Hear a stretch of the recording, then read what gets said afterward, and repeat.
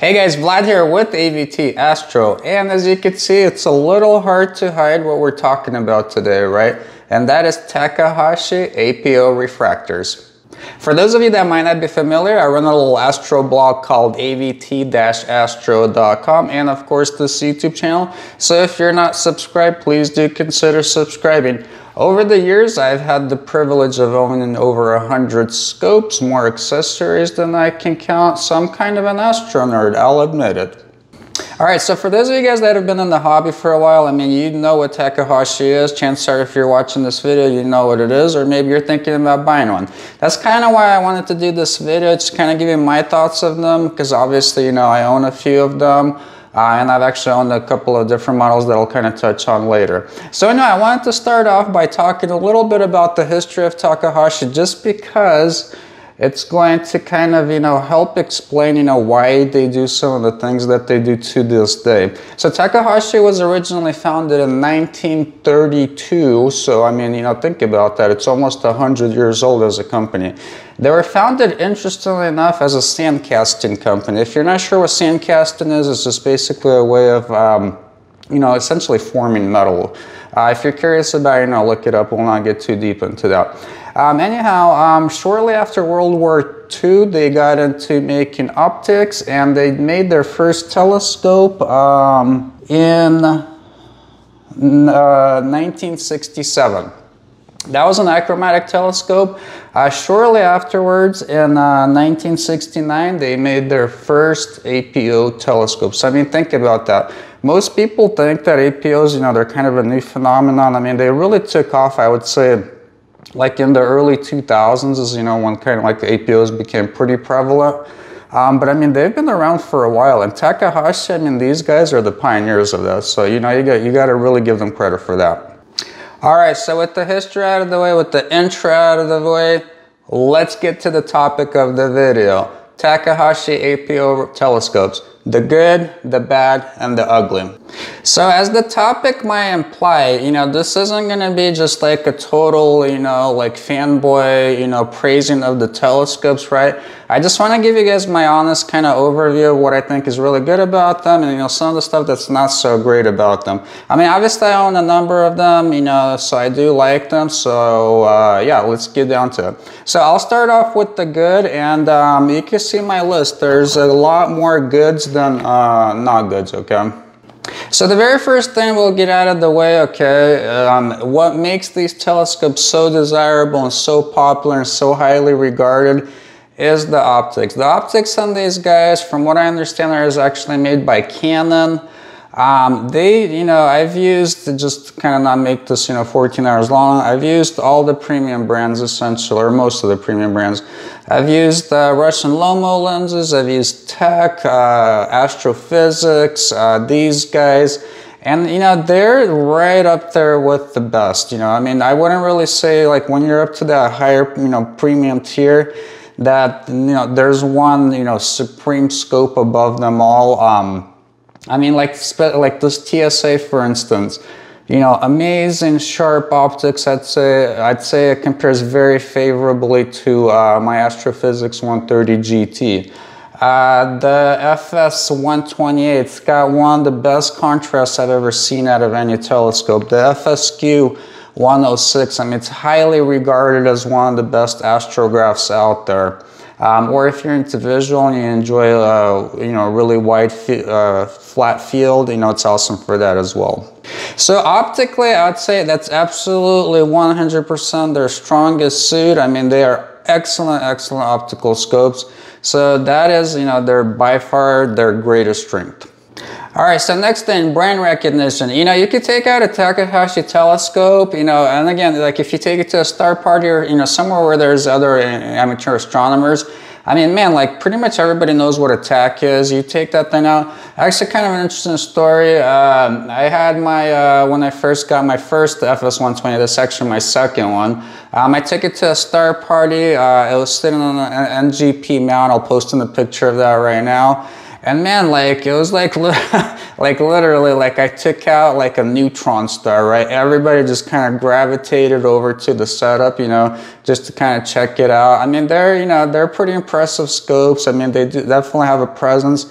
So if you're after a telescope that performs very well optically and you want brand recognition, whether it's you know just for yourself um, you know whether you want other people to easily recognize that it's an awesome scope um, or maybe even for resale value. I mean, Takahashi brand recognition is absolutely, you know, at the top of the list, I would say. All right, so next thing I have on my list is availability. Um, if you're shopping for a high-end APO telescope, you probably already know I mean, you can't just like call uh, Astro-Physics and be like, hey, you know, send me a 130 GTX and, you know, they'll, they'll have it at your door, you know, in like a week. I mean, the wait list is about 4 million years long, you know. and that's actually true about quite a few of the premium brands. I mean, they're not quite as long of a wait list as uh, Astro-Physics, but they do usually have a waitlist. These things, I mean, you can literally go online and order most of these, you know, pretty readily available. I mean, right now we're still, you know, at the making of this video, we're still kind of like at the tail end of the pandemic, hopefully anyway.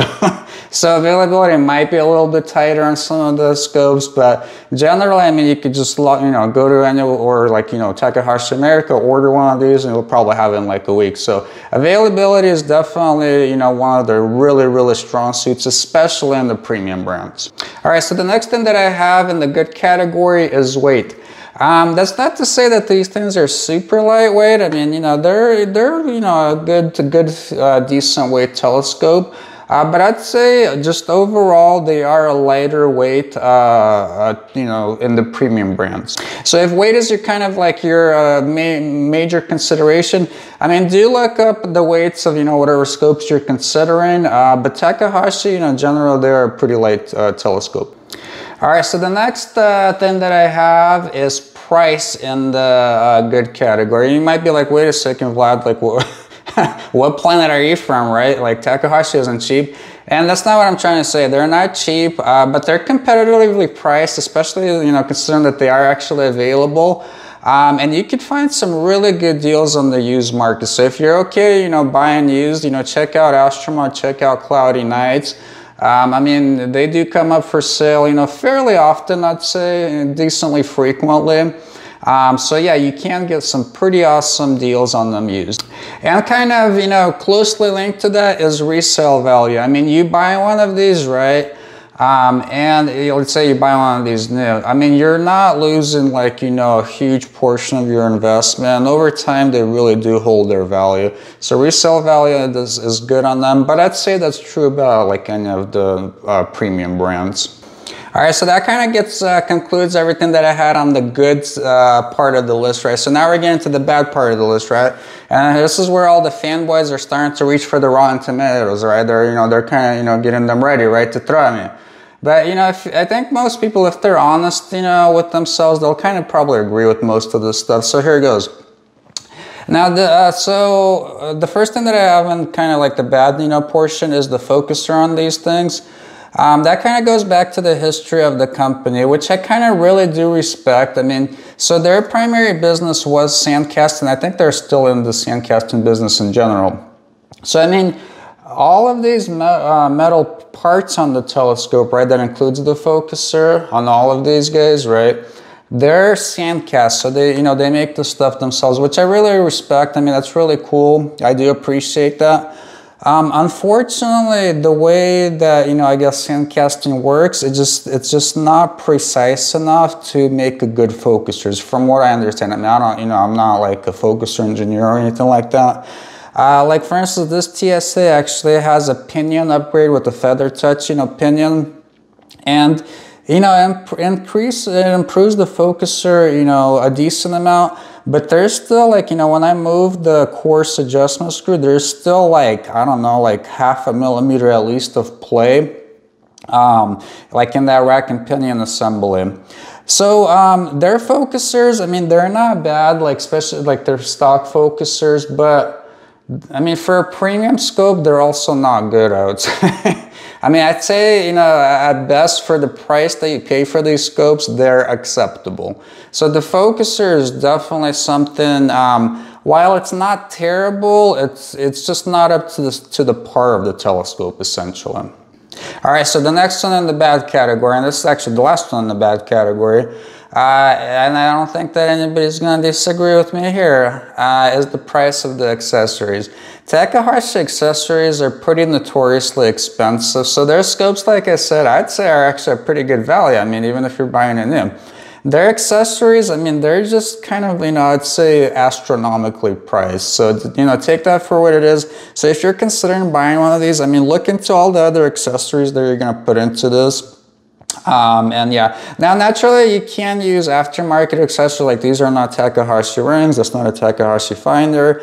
Uh, but overall, like, you know, a lot of people do enjoy like putting uh, together a complete Takahashi package. And if you, you know, if you want to do that, it is going to cost you. All right, so now we're getting to the ugly, to the last category. Not, not, thankfully, not very many things in this category. And really, it's only one thing that's in that category, but I'll start with another one that's kind of specific actually to the FSQ and to a couple of their other models I've heard, like the Sky 90, I think. Uh, FSQs, uh, whether it's like the 106 or the Baby Q, the 85, um, I mean, they do have optical issues with like, cause it's a, it's a four uh, optical element design, right? And they have issues with them getting misaligned or I don't, I don't know what the technical thing is. Um, the, so that's kind of not really that great on a premium scope, right? Like to me, like the, one of the things that makes a refractor a refractor is that, I mean, the optics should be bulletproof on this, man. Like as far as the, like the alignment, you shouldn't have to go tweak that ever, right? Um, unfortunately, with FSQs, it's not like if you read the forums, not uncommon for these guys to have like alignment issues. Uh, and what makes it worse, I mean, I, I, wouldn't consider that to be too bad, but what makes it really bad is uh, if it's an actual true alignment issue. From what I understand, it's a trip back to Japan uh, to get them realigned. So, I mean, to me, that's just like a really big downer. Like, the, it, it just doesn't scream premium to me. I mean, having said that, again, that only affects a couple of the models. Like most of the models really don't have that issue, and it's not a trip back to Japan. Actually, if you you know if you did want to get the optics clean and recollimated, uh, Takahashi America can do that here in the United States. All right, so with that out of the way, as far as the optics goes on the FSQ, which you know I do consider to be a really big downside or potential downside anyway, is the one thing that I really truthfully do not enjoy about the telescopes.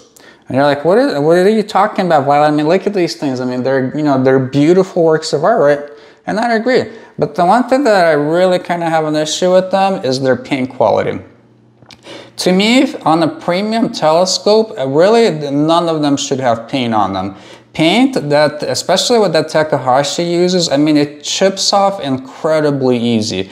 Pretty much any Takahashi, with I think the exception of the FS128, which is like museum, um, basically condition, I mean, they all have chips on them, man. Like it's it's amazing. Like this paint that they use, it's just, it's not. I don't know if it's cheap paint or if they just don't know how to spray or whoever sprays it for them.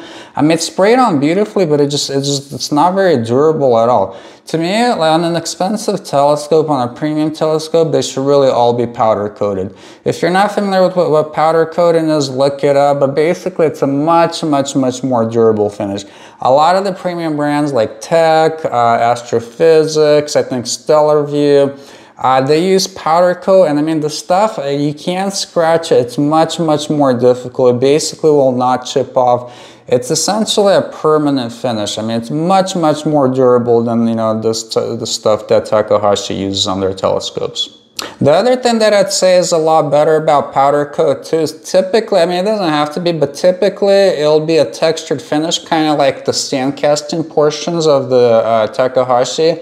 Uh, which if you do, because to me a premium scope, it's a lifetime telescope. Like, you know, you buy it and it'll last you a lifetime because it's the best, right?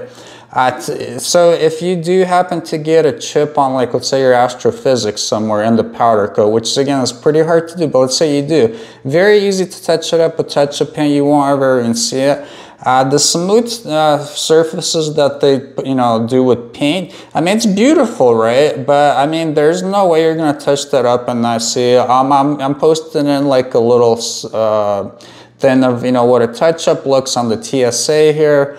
Um, it's just, you know, you're not going to make it look good. And keep in mind, I used to be a pro auto detailer in a previous life. Alrighty guys, so hopefully you guys found that video interesting. I mean, overall, just to sum it up, uh, just real quick, uh, Takahashi, excellent, excellent optics. I love that they're available. You could go and order one like right now and probably have it in a week. So those are very, very in the premium brand category. Very, very good things. Uh, focuser, again, that is a downside. You can retrofit a feather touch on here. And really to me, like if you're gonna keep one of these for the rest of your life, it's just like, you know that that's your telescope. I probably would go ahead, you know, and put a feather touch on them. That really kind of, um, makes the telescope more premium to me. Uh, the paint you're just gonna have to deal with. I mean, it's just it's just not very good quality paint. It does chip easily, um, but otherwise, I mean, just overall, they are an awesome scope. Every single time I have one of my Takahashi's out, I really enjoy using them. So anyhow, if you guys have any questions, comments, or anything like that, leave them in the thing below. If you're not subscribed, please do consider subscribing, and I'll see you guys in the next video. Bye.